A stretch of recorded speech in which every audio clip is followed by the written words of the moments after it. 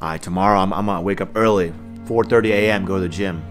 What's so funny, phone? Bro, you ain't waking up at 4.30. What you trying to say? Bro, I know you pretty well. As your phone, you are not waking up at 4.30 a.m. Bro, just help me set the alarm. You snoozed me 17 times this morning, and then when you woke up at noon, all you did was watch TikTok. I don't think it was 17 times. Your expectations are way too high. It's about baby steps. no, they're not. I can do it. Bro, I'm a tool, but I'm not gonna enable you. Maybe I'll just get a new phone then. Yeah, go get another phone. Like, that has to deal with all the stuff you put put me through. Oh, I gotta bring that I would up. love to not watch you masturbate mobily all the time. I'm sorry you had to see that, okay? All the anime you watch and all the hentai and the tentacle stuff. I don't want to see that shit. You think I'm proud about this shit? I'm sick of that shit. God damn it. Fuck, fuck. And you know what else? Maybe if you were a little bit more grounded and were a little bit more consistent, Bro, don't go there. she Nuh-uh. wouldn't have left you.